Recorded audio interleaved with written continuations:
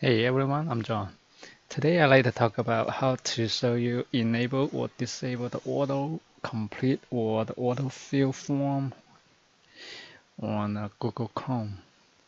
So let's get started. I have Google Chrome open right now. First thing we need to do is go to the settings.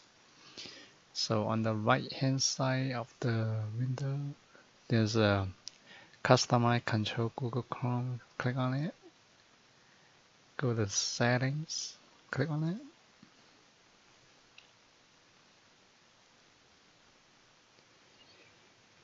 And we scroll down a little bit more. So it only shows up some of the options.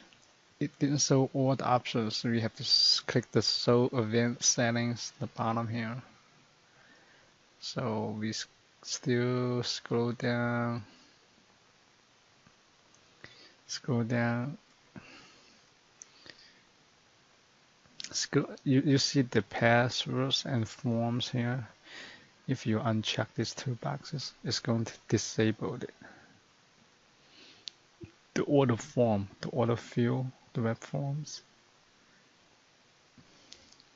Just uncheck these two boxes. If you don't want to save your uh, name, address, passwords. If you have already enabled before and you want to manage those settings, you have to click click the manage all of all of your settings and then clear out those settings.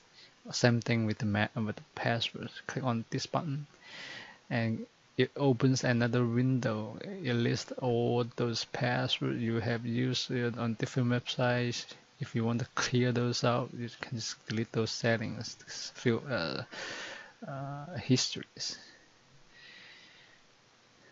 Okay that's it for today thank you. Thanks for watching. Please don't forget to subscribe my channel